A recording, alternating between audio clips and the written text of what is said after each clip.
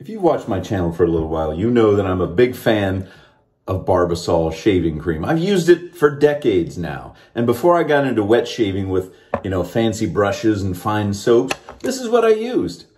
I just like it. I still use it to this day. And what I've done in the past few years is find older versions of Barbasol, both online, uh, some were sent to me, and I wanted to show you a little, just a little mini museum of Barbasol stuff. And then that will lead up to shaving with this. Barbasol with menthol from, from what I can tell by the graphics, because there's not a date on it. This could be from the 50s or maybe the very early 60s. Anyway, I haven't used this one before and it's inside the tube and in the box and it's mentholated, which I love. So let's take a little uh, take a little tour of just a few of the things I have here, and then we'll start shaving with this new old Barbasol. Um, well, first of all, the razor is a Barbasol razor. This is from the 1930s. I'm going to show you how it loads because we'll get it ready as I show you. It's a two-piece, so the top just, you know, you unscrew the handle. Little top piece comes off. And then you grab your favorite razor blade, in this case, a feather, of course. Always using feather and you take, in this one, with this razor, because every razor is a little bit different as far as how you load it, you just place the head of the razor and then place the razor blade right on top. And then do this, straight down, boom. And then you start screwing the little handle in. And then when it engages, then you can turn it over and finish. So it tightens down. Now make sure that the blade is in there straight so that there's the same amount shown on each side. All right, Barbasol razor from the 30s. It actually says Barbasol right around there. Okay, now, in chronological order, as far as I can tell, let's go back to the oldest first. We got some from the 1940s. This is, this is, uh, I used this a while back. This is a little bitty tube, 25 cents at the time. This was sent to be my uh, friend of the channel from Australia. So this was in Australia. I used this recently. Here's what this tube looks like. It's got a kind of a black, almost like a, let's see, one, two, three, four, five, six hexagon on top little lid, and there we go. I'll put this back in here. So this is from the 1940s. And then the vintage Barbasol that started it all for me was this big giant one I got off eBay a few years ago. It's huge. Look at the difference in the box size here. See that? Sorry, I got a phone call. Here's the, oops, sorry. Here's the difference. This is the mammoth tube. Do you see that? And this is like the normal one. Anyway, this one I use, oops, this was the first one I ever used, vintage one. And uh, it's got a little round cap on it. Yeah, there you go. You're getting, you're getting the history of Barbasol caps. You know what Barbasol used to do back in the old days? They used to do a lot more. It used to be, let's see, where is it? Where is it? Oh, it's not on this one. It's on, oh yeah, yeah, here it is. Sorry. Soothes discomfort of sunburn, windburn, chafing, chapped skin, and insect bites. I don't know, my mom, if I get bit by a mosquito, I might try the modern see if it also helps. So there's the mammoth tube. That's from the 50s, the early 50s. And then uh, this one that I'm going to use is probably from the 60s, maybe the late 50s. I'm not sure. I wish they'd put a date on it. They didn't. Here's one, a travel size from the 60s. This is a little travel size one. you just squeeze this down and the foam comes out. I actually have two of these. The other one's in the package right here. See? Look at that. I've cornered the market on vintage travel size Barbasol. So don't even look for it. Okay, let's jump ahead to the early 70s and we go to the, the can that you know. It's no longer a tube, it's now a can. This is from about 1972 or so. The Beard Buster. Now it doesn't, no more with the windburn and the, and the insect bites. It's now just busting your beard. Getting down to business. And then, now I don't have any from the 80s, but these are what, this is what it looked like in the 80s to me. Now, this is the one that you notice from uh, from Jurassic Park. Uh, a little bit different. The can is slightly different. But this is kind of the one that I started using back in the 80s.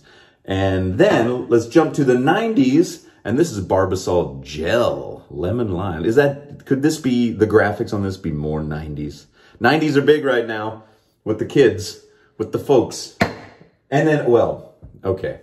The most, the most rare Barbasol that I own is this one right here. It's a gem. Enough said. I don't even need to talk about this one anymore. All right. And then in 2019, for their 100th anniversary, they went with a retro-looking package. And so I collected a few of those. I got, I think, three of those. And it's similar. You know, you had the stripes going on. You got the stripes here. Keeping that stripes thing going. And here's the, the blue and red stripes. And that brings us to, finally, our mentholated Barbasol. I know. Let's get on with it, shall we? I have not used this. I don't, I, I may have opened it to smell it, but this thing is unused. Now, something I learned from the big mammoth tube, I need to shake it up in case it's, it's uh, separated a little bit. And if you watched my video from last time, the one just previous to this, I used some Barbasol. I used this Barbasol and then some uh, other shaving cream in a can from the 70s. And I got to tell you, afterwards, my chin was kind of itching. I think there may have been something weird in those old cans. Anyway, let's shave with this new stuff and see if uh, my face just melts off or if I can just shave like normal. Now, I didn't shave yesterday, so I'm ready to go. I took a shower, did my hair, gonna put some hot water, because I've been talking a long time. I apologize. Put some hot water on my face. Don't ever try to start shaving like this with, uh, you know, without putting some water on your on your whiskers. Just try to soften them up. You'll thank me later. Okay, we got the Barbasol razor with a fresh feather blade in it. We got the Barbasol with menthol from, look at the end. I mean, that, looks perfect. Now I have had some vintage uh, uh, shaving cream in tubes like this that kind of looked a little, little funky and off, but this one seems to be okay.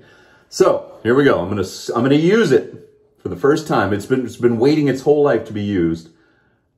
Let's see if it comes out. Ah, look at that. Beautiful. Came out beautifully. Look at that. And it doesn't smell too bad. It smells like, uh, it doesn't smell like modern Barbasol. It smells like its own, that was a weird move. Mm-hmm. it smells like its own thing. Oh, it's got a little bit of a funk. Now, I've noticed some of the other vintage Barbasols have a funk, so I'm going to... This is, oh, if you're not familiar with this, this is not a foaming shaving cream. This is brushless. It's a brushless, no lather, no rub-in.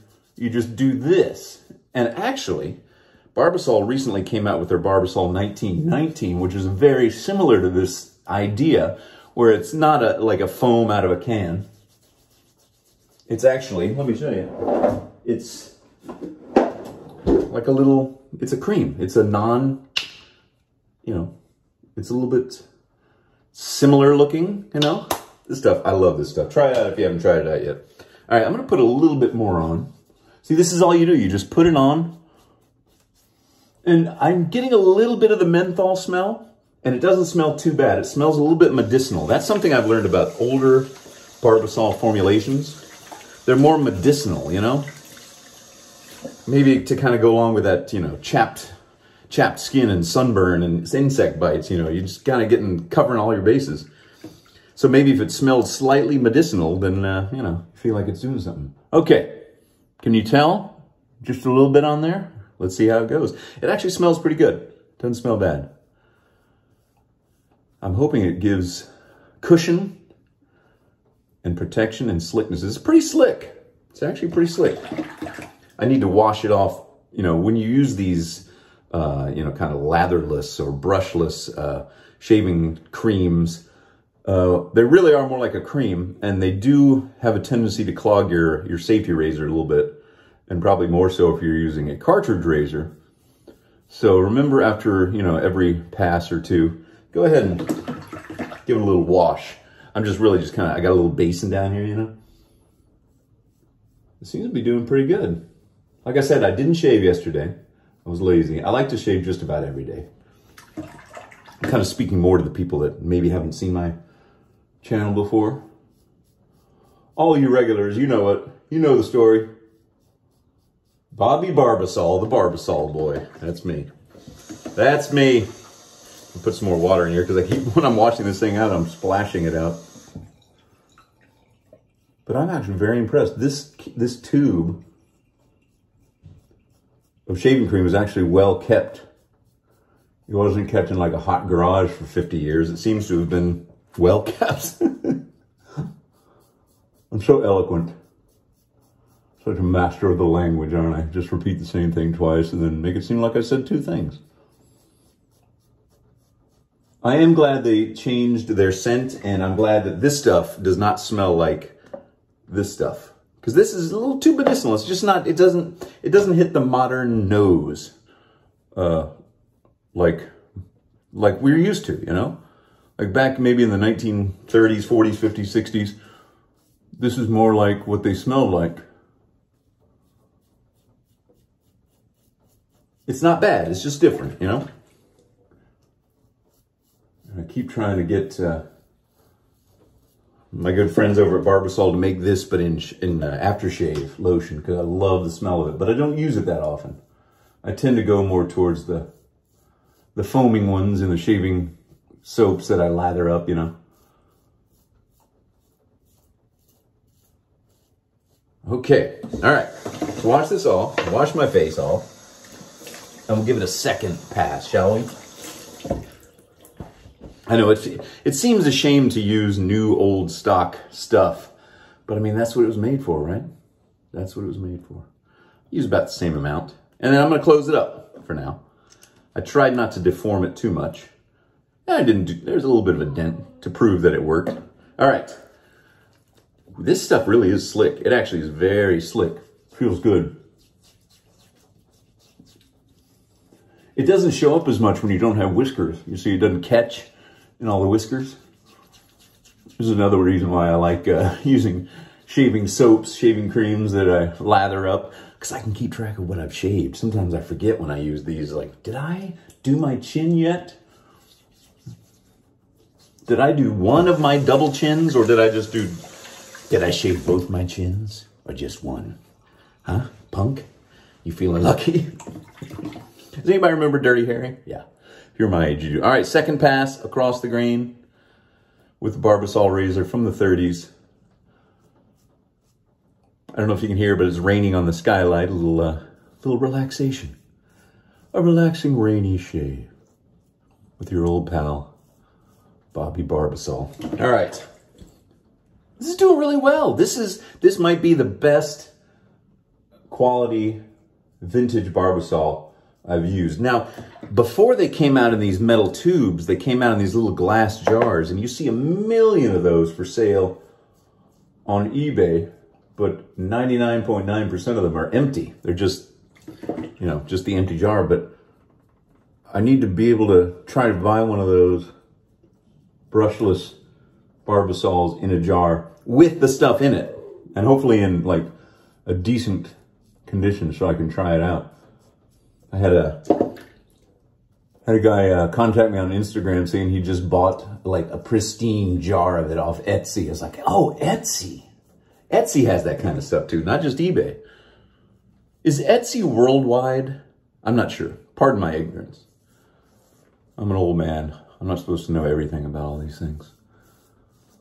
I know just enough to pretend like I know what I'm talking about.